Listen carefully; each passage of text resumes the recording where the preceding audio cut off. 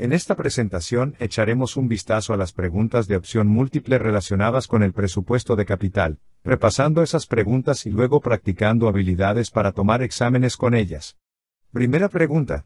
El periodo de recuperación de una inversión cuando el flujo de caja es desigual es A, calculando cuando los flujos de caja netos totales acumulados llegan a cero. B. Calculando cuando el ingreso neto es igual al costo de la inversión. C calculado cuando el método de depreciación acortará el periodo. D. Calculando el valor actual neto de cada flujo de efectivo, o E. Calculando la tasa de obstáculo aplicable. Repasemos esto de nuevo usando el proceso de eliminación. El periodo de recuperación de una inversión, cuando el flujo de caja es desigual, es un cálculo cuando los flujos de caja netos totales acumulados llegan a cero. Por lo tanto, el periodo de recuperación de la inversión lo mantendrá por ahora, cuando los flujos de efectivo sean iguales a cero. Para los flujos de caja totales, B dice que se calculan cuando el ingreso neto es igual al costo de la inversión. Y eso parece que también podría ser razonable.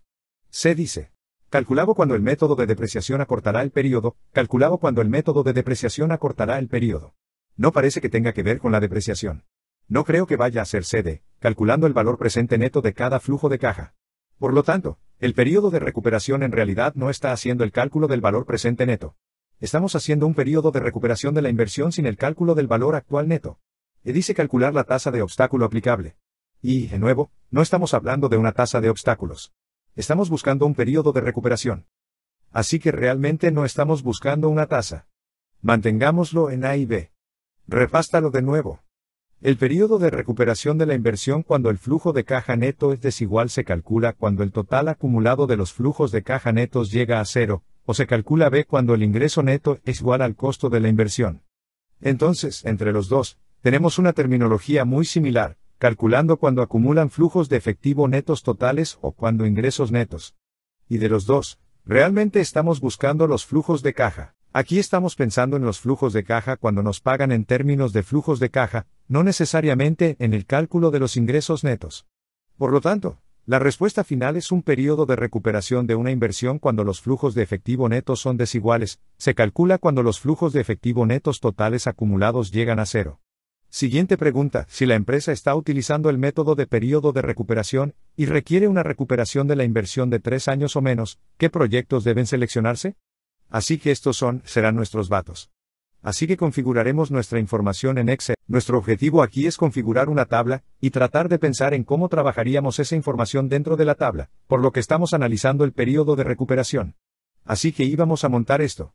Básicamente, está configurado en una pequeña tabla aquí en la pregunta, por lo que podríamos decir que tenemos 0, 1, 2, 3, 4, y así es como normalmente queremos configurar nuestros pagos.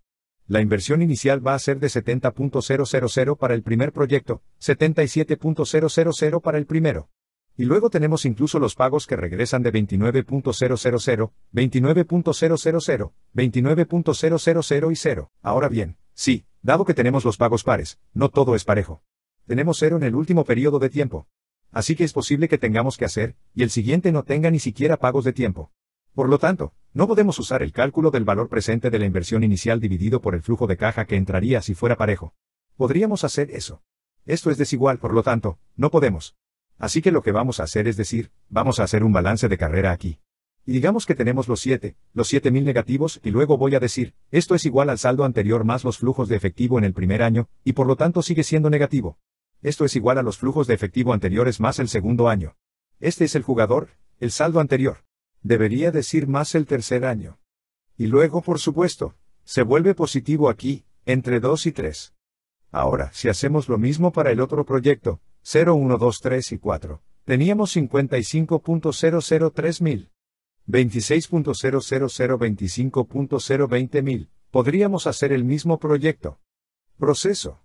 Negativo de este número, esto es igual al saldo más el flujo de efectivo en el primer año, esto es igual al saldo anterior más el flujo de efectivo en el segundo año, esto es igual al saldo anterior más el flujo de efectivo en el tercer año, esto es igual al saldo anterior más el flujo de efectivo en el cuarto año.